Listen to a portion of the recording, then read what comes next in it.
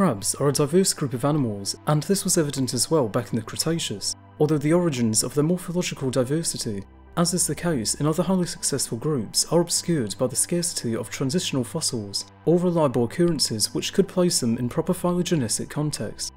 Brachyura, the true crabs, are one of the most species-rich and important groups of crustaceans, with nearly 7,000 extant and 3,000 extinct species being known of. Yet, the evolutionary history and phylogenetic relationships remain enigmatic.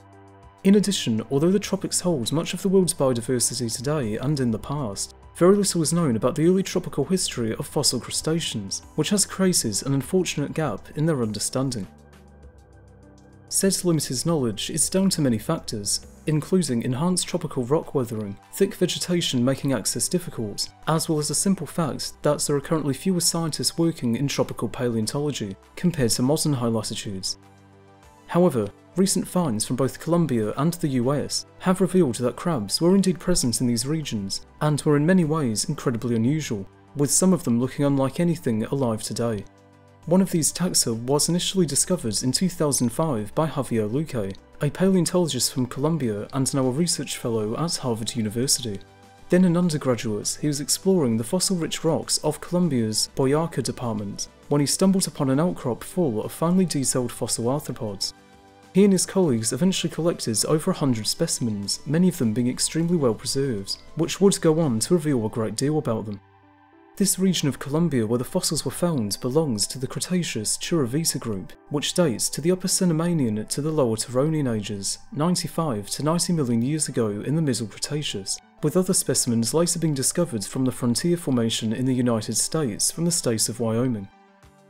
The numerous fossils found in these regions revealed a novel and exceptionally preserved species that possess a unique body plan, helping to illuminate the early disparity of the group and the origins of novel forms named Callichimaera perplexa in 2019.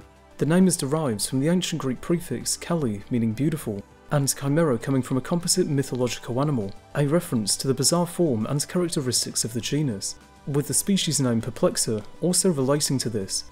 Crabs are usually thought of as having broad carapaces, strong, robust claws, as well as small eyes with long eye stalks and a small tail tucked under their body. But, as seen with crabs overall, some forms, in this case Callichimaera, defies all of these so-called crabby features, and indicates that our definition of what makes a crab a crab is not all that set in stone.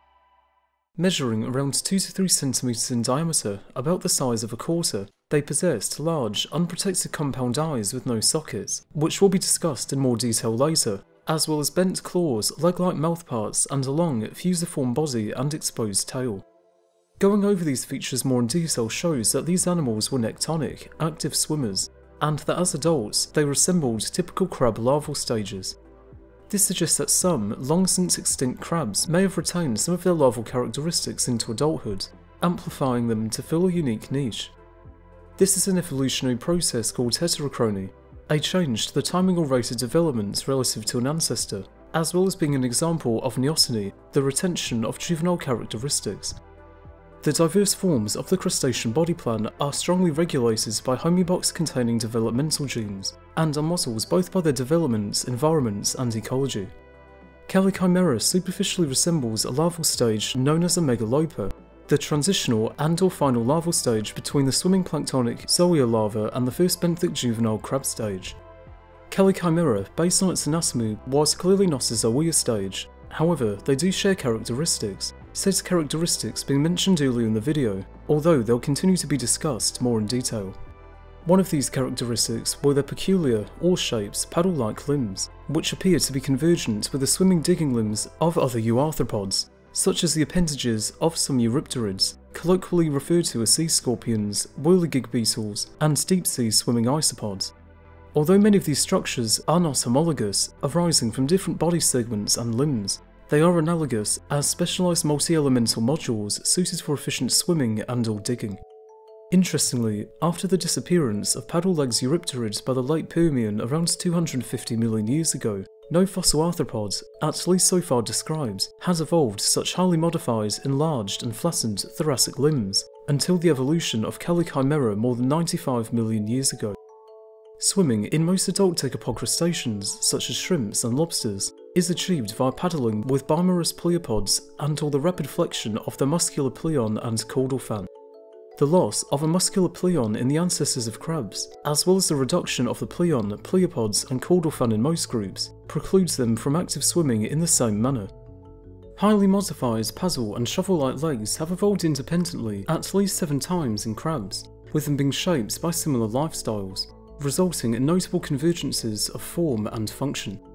Callichimaera therefore appears to be structurally suited for active pelagic swimming, although it is possible that they could have been facultative back burrowers, as seen in some extant swimming crabs. A crab-like, aka a carcinized body plan has evolved independently at least four times among Anomurans, a group of decapod crustaceans which are the sister group to the true crabs, Brachyura, which includes animals like king crabs and some hermit crabs. Some lineages also independently decarcinized or lost the crab-like body form, which is typically associated with the evolution of fossoriality in groups such as mole and frog crabs.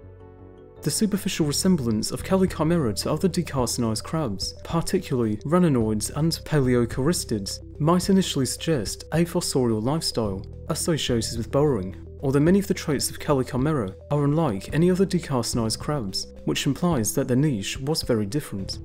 From what we've gathered about them, it is apparent to assume that these crabs were open water pelagic animals, and this was further assisted by one of the most notable features being their massive eyes. Their incredible preservation means that their structure and overall composition is in many ways intact, which has helped in better understanding crabs overall and their evolution. True crabs are one of the few groups of arthropods to independently evolve several different types of compound eye, reflecting their broad range of lifestyles, and this was readily apparent in these crabs as well. The eyes of C. perplexa are very large, 16% the size of their entire body, and for a comparison, that's the equivalent of a person with eyes the size of soccer balls. The fossils also preserve in remarkable detail their optic and corneal elements, being the first known post-Paleozoic arthropods to preserve both. They also lacked orbits, orbital fissures, or any meaningful protective structure, so they must have therefore been permanently exposed, even under times of stress. Having such big and unprotected eyes implies they were not only exposed at all times, but that they would have required a large investment of energy and resources to maintain them, and thus they must have relied considerably on their vision. To assess their development and in turn what it meant for these crabs, researchers analysed over 1,000 specimens of living and extinct crabs, representing 15 extant brachyurans across 9 families, to better determine their ecology and habits. Collection and analysis of said data took over decades to compile, although the results were worth it, as it paid off in properly showcasing just how bizarre these animals were. The specimens involved in the study, to get a comprehensive range of body forms, were analysed at both their different stages of development, range of habitats, lifestyles and bathymetric ranges. Measuring the dimensions of the eye and bodies of these crab specimens throughout their growth cycles, found that unlike other crab species, C. perplexa retains their large eyes throughout their development. The study also showed that C. perplexa showed the fastest optical growth rate of the sample, similar to more highly visual and predatory species. Although growth rates of the eyes did not directly correlate with habitat depth, fast growth rates were found to be common among crabs that are known to engage in highly visual behaviours such as active predation, as opposed to scavenging or visual courtship. The average interommatidial angle, the IOA in the eyes of C. perplexa, is 0.57 degrees, indicating the visual acuity was comparable to that of modern predatory arthropods. Compound eyes often incorporate an acute zone of large facets, which are capable of increased resolution as well. Forward-pointing acute zones, which allow small prey to be detected at greater distances, are found in animals like praying mantises, and in insects that engage in seeking behaviours and forward flights like in bees and butterflies. Similar patterns are also present in C. perplexa, where facets with larger average diameters are more prevalent in the centre of the eye than closer to the accrediting edge. The average value of the eye parameter of these crabs was also relatively low at 0.34, consistent with them inhabiting shallow and well-lit environments. It was also found that they had remarkably sharp vision for a crab, with their compound eyes having a large amount of hexagonal facets. Animals that possess compound eyes essentially have a pixelated view of the world, with each facet delivering a separate pixel. Therefore, the higher the pixel count, the sharper the vision. From observing the eyes of C. perplexa, it was found that their eyesight was comparable to known clear-eyed predators like dragonflies and mantis shrimps, which are well known for being highly efficient and active predators. Therefore, their growth series, in combination with their eye parameters, angles, and level of complexity, coupled with their body plan, demonstrates that they were highly visual, shallow water predators that could move at great speed given their size. Chimera shared their environment with a range of comma and Caridean shrimp, which they would have therefore fed on, making them top predators, at least for animals around their size. The discovery of Chimera has shown and subsequently blurred the boundaries of how a crab is defined, Regardless of their position in crab phylogenetics, they appear to occupy an intermediate position between the earliest podotreme brachyurans and the more derived podotremes, filling in a major gap in the evolutionary history of true crabs. Chimera may well be neither a brachyuran or an anomuran, but rather its own infraorder, Chimeridae, although their classification as a novel lineage of brachyurans appears to be more likely. They evolved during a time when crabs as a whole were undergoing a major adaptive radiation that included extraordinary morphological experimentation before settling into the more familiar body forms today. This is known as the Cretaceous Crab Revolution, aptly named due to nearly 80% of the higher clades being first known from this period of rapid radiation.